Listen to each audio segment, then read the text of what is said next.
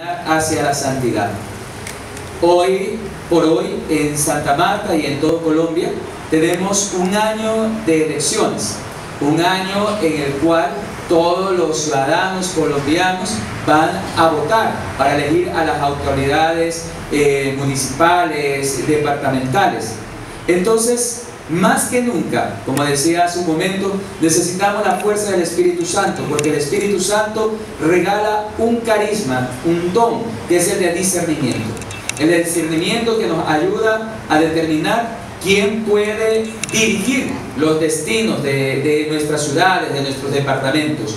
Por eso Santa Marta estará también en oración de intercesión, pidiendo la sabiduría divina para que las autoridades que sean elegidas sean conforme al corazón de Dios.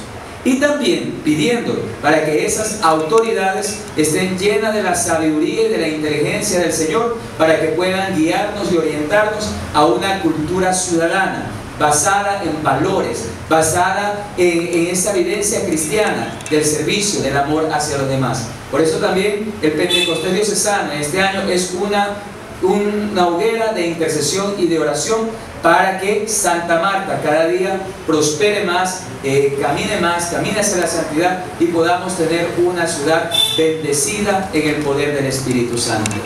Hay un detalle interesante también en este Pentecostés y es la presencia de los movimientos. No solamente es